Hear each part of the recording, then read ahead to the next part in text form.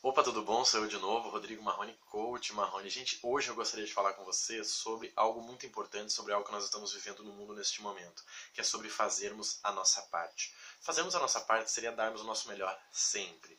Hoje nós temos algumas áreas da vida que nós não podemos falhar, senão uh, o preço por isso pode ser caro. Não sei se você é empregado, se você é funcionário, se você é empreendedor, mas eu tenho certeza que você precisa dar o seu melhor sempre. Se você é empregado, você é pago você ganha dois mil reais para trabalhar oito horas por dia.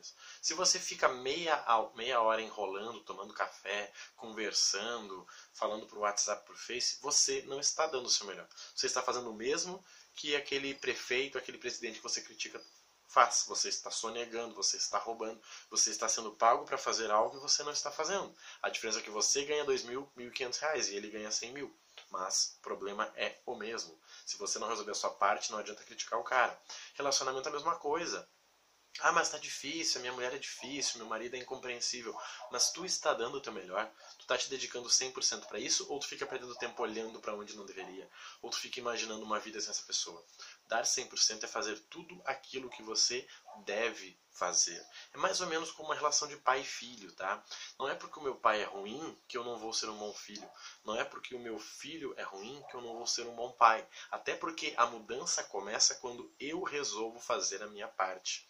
Quando eu faço a minha parte, as coisas mudam. Quando eu mudo, o mundo muda. Não é sobre que mundo que vai, que mundo que vai esperar para os meus filhos, não. É o que os meus filhos podem fazer por esse mundo. É um pouquinho diferente. Então comece a pensar, eu já entendi que está sem gasolina, que aumentaram os preços, já entendi isso aí. Mas vamos ver o que você pode melhorar.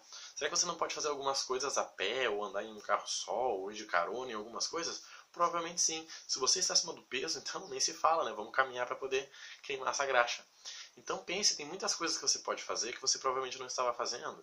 E as crises são importantes para isso. Na verdade, no Japão, se você for ver a palavra, né, a, a, grafia da palavra crise é o mesmo da palavra oportunidade, porque eles entendem que crise tem a ver com oportunidade. É exatamente o que nós estamos vivendo agora.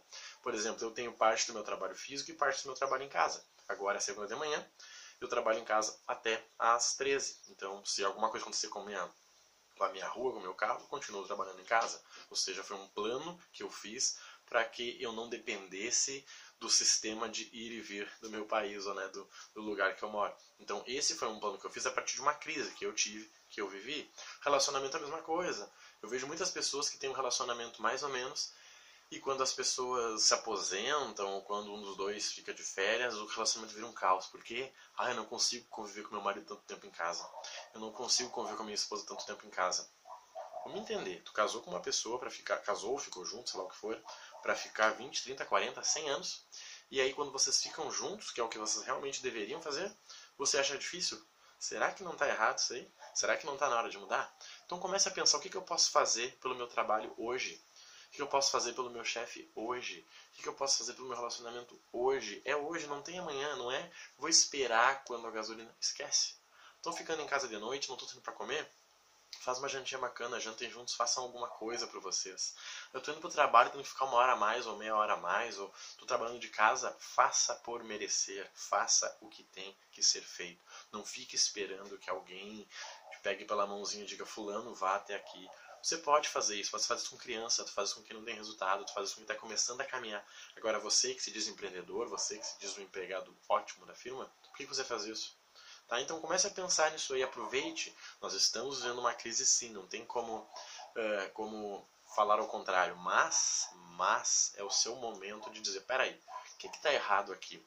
Se eu estou com 10 quilos acima do meu peso, o que, que eu fiz de errado? Será que não é falta de atividade física? Será que eu não posso aliar atividade física com esse momento que eu estou vivendo agora? Será que eu não posso começar a comer direito ao invés de ficar usando o carro para todo é lugar e gastar gasolina e ainda ficar gordo? Será que eu não estou ficando muito tempo fora de casa? Agora estou trabalhando em casa três dias por semana eu posso ficar com a minha esposa e eu não aproveito? Começa a pensar nisso aí, você vai ver. Quando você muda, o mundo muda. Quando você for o marido que você tem que ser, você vai ter a esposa que você merece ter. Quando você for o pai, quando você for o filho que você merece, que você precisa ser, você vai ter o pai, você vai ter o filho que você merece ter, tá bom? Um grande abraço, conte comigo e uma boa semana a todos. Valeu!